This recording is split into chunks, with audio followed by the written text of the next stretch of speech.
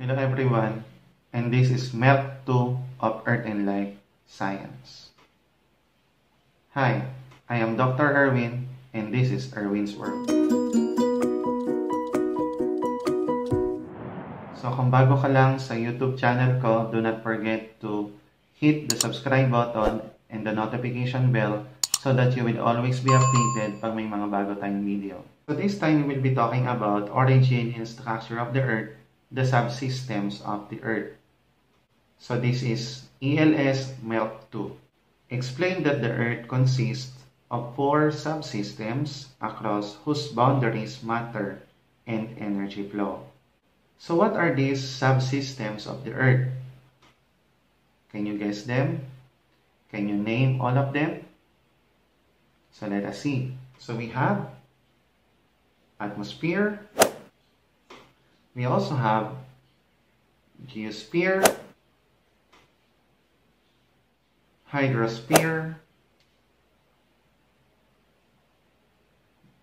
biosphere.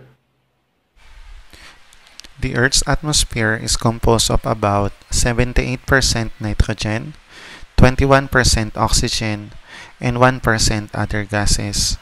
These gases are found in layers of troposphere, stratosphere, mesosphere, thermosphere, and exosphere, defined by unique features such as temperature and pressure. The first layer of the atmosphere is the troposphere, where it starts at the Earth's surface and extends 8 to 14.5 kilometers high or 5 to 9 miles. This is the part of the atmosphere which is the most dense, and almost all weather conditions happen in this region. So when we speak of weather conditions, these include typhoon, storms, rain, hail, and other atmospheric phenomena. The next layer of the atmosphere is the stratosphere. It extends up to 50 kilometers high. So you know what uh, is the importance of this particular layer of the atmosphere? It is simply because it houses the ozone layer, which absorbs and scatters the solar ultraviolet radiation. The third layer of the atmosphere is the mesosphere. It is the mesosphere which is just above the stratosphere and extends up to 85 kilometers high or 53 miles. In this layer, meteors burn up in this particular layer of the atmosphere. The next layer of the atmosphere is the thermosphere. So it is located just above the mesosphere and extends up to 600 kilometers or 372 miles high. Actually, it is in this particular layer of the atmosphere where we put our satellite in the orbit of the Earth. So meaning to say, when NASA or ESA or any other space agencies launch their satellites on Earth. So it is put in the space in this particular layer of the atmosphere. The last layer of the atmosphere is the exosphere. This is the upper limit of our atmosphere. It extends from the top of the thermosphere up to 10,000 kilometers high.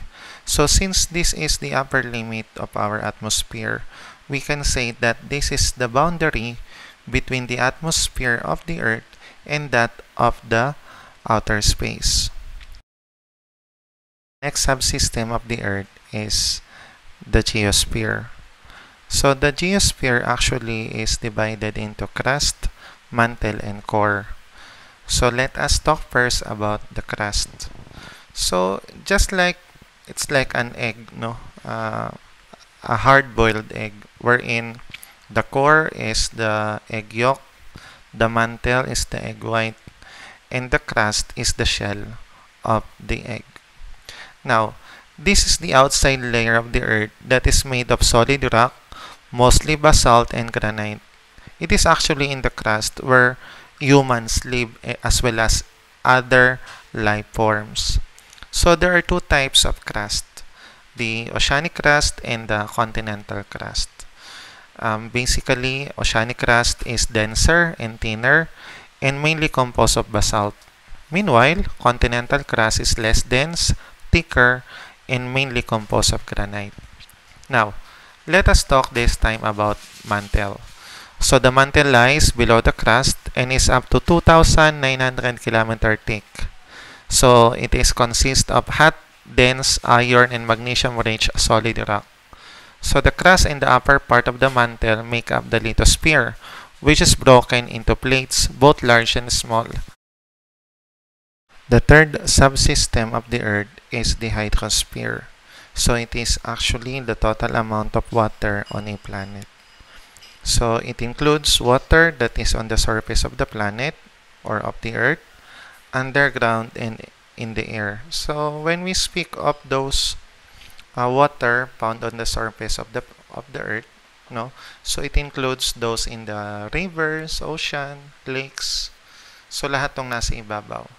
Now, when we speak naman of that water underground, so it is those found in the underground water system. Um, meanwhile, the water found on air is actually the water vapor. So the last subsystem of the Earth is the biosphere. So the biosphere is made up of the parts of the Earth where life can be found or otherwise all ecosystems. So when we speak of all ecosystems, so all ecosystems on Earth, this may include those in the desert, those in the tropical forest, on land, on water, on air. So basically, our discussions a while ago about geosphere, hydrosphere, and atmosphere, no? So this particular subsystem of the Earth contain also the different ecosystems. So we have ecosystems on land, ecosystems in the bodies of water, and there are also organisms in the air. So basically, when we talk about biosphere, it encompasses all the subsystems of the earth. So though we did not tackle a while ago that there are organisms in the hydrosphere, in the atmosphere or in the uh, geosphere because what we are talking about those subsystems are the physical and chemical compositions. However it is in this biosphere the last subsystem of the earth where we can tackle the different organisms the ecosystems found among those other subsystems of the earth. So the illustration that you can see shows the interconnection or interconnectedness of the four subsystems of the Earth. So it is known to be a subsystem because the main system actually is the Earth system.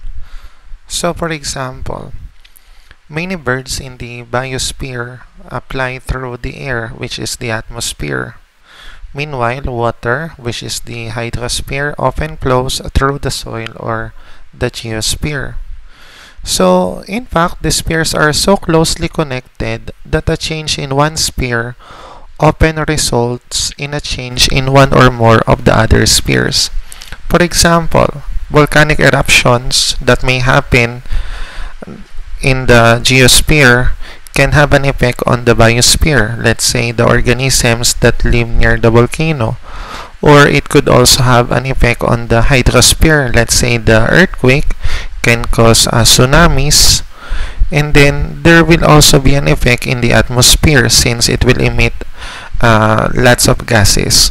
So in short, in one activity of one subsystem, it will have or it may have an effect on the other systems. So with that, uh, we can say na uh, the four subsystems are connected so that we can be able to uh, provide the necessary uh, environment for the living things to survive on Earth. Okay, so I hope that you have learned something on this video. So in case that you have any questions, just leave uh, your questions in the comment section of this video. So kung nagustuhan nyo naman, uh, do not forget to share and hit the subscribe button so that you will always be notified kapag may mga bago tayong video. That's it for now and goodbye.